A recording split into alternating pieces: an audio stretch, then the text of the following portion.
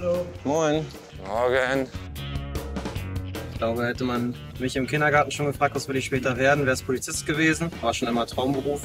Es ist einfach so vielfältig der Beruf, der macht so viel Spaß, man lernt viel, man erlebt viel und ähm, kann auch noch mit Leuten helfen. Polizeioberkommissar Faust und Polizeikommissar Melzer arbeiten seit drei Jahren zusammen.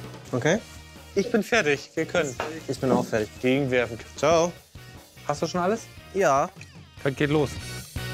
Hannover Nordstadt ist das Revier der beiden Ordnungshüter.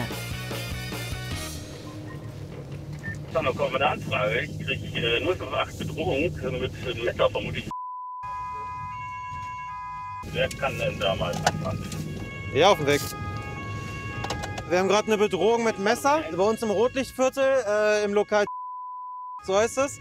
Ähm, hat der Sicherheitsdienst angerufen, dass dort ein äh, wahrscheinlich Kunde die Leute mit einem Messer bedrohen würde. Wir bräuchten hier mal ein RTW. Der 041 ist vor Ort. Ich zeige das um.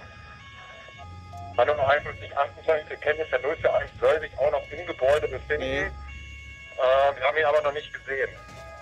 Also jetzt haben wir gerade die Lagemeldung bekommen, dass äh, eine Person äh, angetroffen wurde, mit Messerstich verletzt. Ähm, Ja, das habe ich auch gedacht. Der Tatverdächtige oder Beschuldigte soll sich noch im Gebäude befinden, wurde aber durch die Kollegen noch nicht festgenommen, also konnte noch nicht entdeckt werden. Deswegen ist das Ganze noch ein bisschen heikel. Sie haben schon verletzte Personen, aber noch nicht den Tatverdächtigen. Rund 64.000 Straftaten ereigneten sich 2021 in Hannover. Damit liegt die Stadt statistisch gesehen auf Platz 3 der gefährlichsten Städte Deutschlands. Hier, Rainer. Da müsste es Wenn ich laufe, an den Rest. Ja, wir laufen Alles das. Ich habe aus.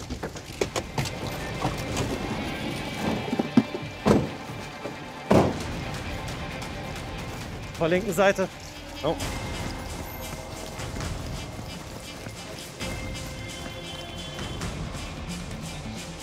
Für eins soll noch drin sein, das Ja. ist eins.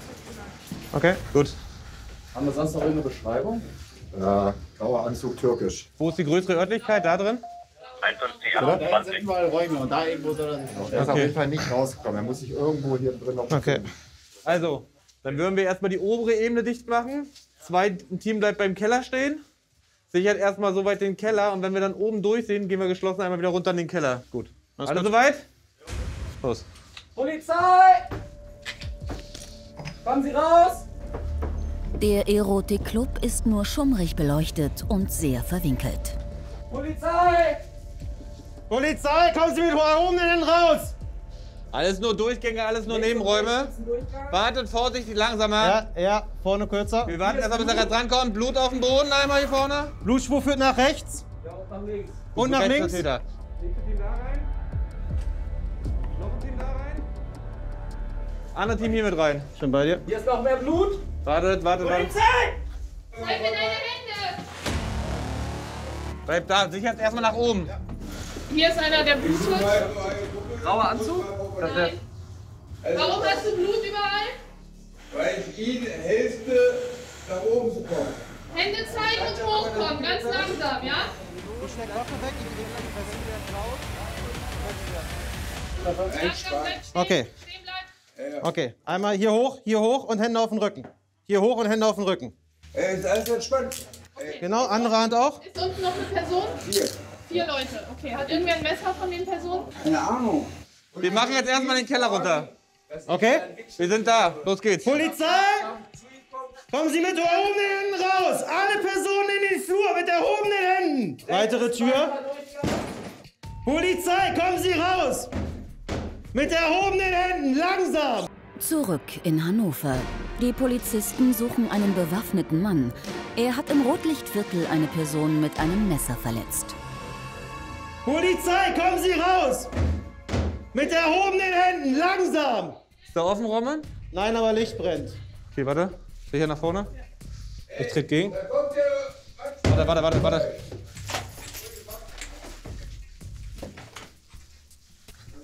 Eine Dusche, ich sehe nichts. Okay. Okay, hier ist abgeschlossen. Müssten wir gucken, ob die Umschlüsse haben oder wir brechen es halt auf. Ja, aber das erstmal weiter. Während sich die anderen Gäste des Erotikclubs in Sicherheit bringen können, setzen die Beamten die Suche fort. Das Problem, Der Keller ist extrem dunkel und verwinkelt. Niemand weiß, wo sich der Täter versteckt. Sauber. Wir kommen raus! Es gibt noch eine Dachterrasse. Ja, wir gehen immer noch. Hat sich der Mann auf dem Dach versteckt? So, wenn wir jetzt rausgehen, die ersten zwei nach rechts, die nächsten zwei nach links, der Rest in die Tiefe. Polizei! Und los, Polizei! Polizei! In die Tiefe noch.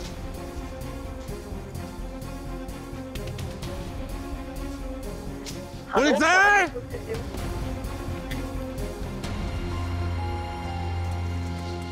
Eine 124 in der Schwabenbergstraße. Die verschlossene Tür im Keller. Wir haben jetzt einen Generalschlüssel. Lass da noch mal rein. Auf dem Dach ist der Täter nicht. Befindet er sich überhaupt noch im Gebäude? Das war diese Tür, richtig? Diese hier auch noch eine. Okay, sicherst du erstmal wieder nach da, aber eigentlich dürfte nichts mehr sein. Polizei, treten Sie von der Tür weg! Von dem passt keiner. Brauchst nicht vorne wegzugehen? Ja. Okay, wir probieren dann die nochmal. Die Tür, welche war hier? Die rechte? Die rechte.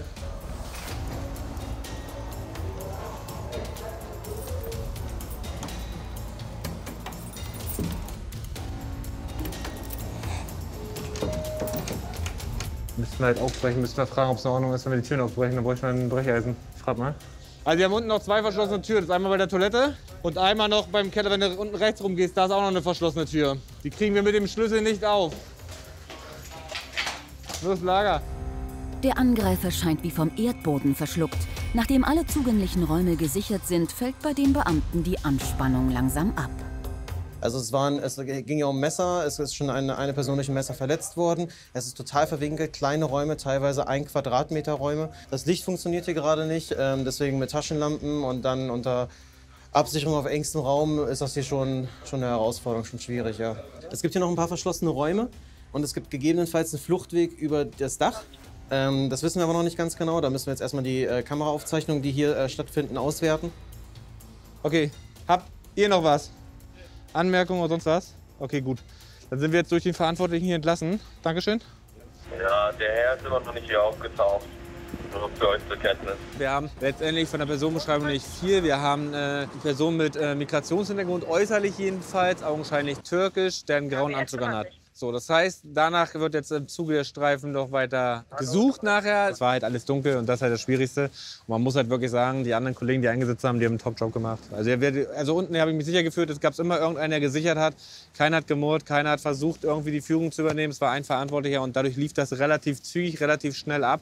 Und für die Location sind wir relativ gut durchgekommen. Jetzt brauche brauch ich einen Kaffee. Für Polizeioberkommissar Faust und Polizeikommissar Melzer ist der Einsatz hier beendet. Ihre Kollegen ermitteln vor Ort weiter. Also nee, sag mal ehrlich, es ist gerade mal 9.44 Uhr. Ganz normales Frühschicht. Genau. Ja, hat wie gesagt, wir sagen es ja immer wieder, ganz normale Frühschicht. Der mutmaßliche Täter wurde bis heute weder gefunden noch identifiziert.